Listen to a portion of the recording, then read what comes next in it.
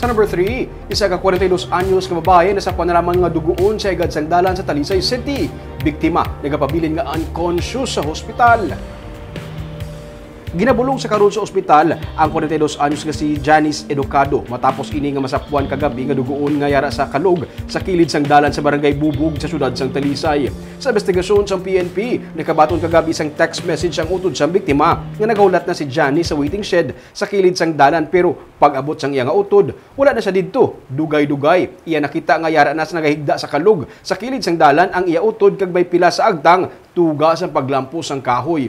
Ginausisa sa karon sa PNP kung bala may ginkawat o kung ginhold up ang biktima base sa ginreport sang iban nga mga residente sa lugar. Hindi pa nila malabot o kung hindi pa nila mapatod sunod sa pulis kung ano gid ang natabo bangod sa unconscious tubtub sa karon si Janice.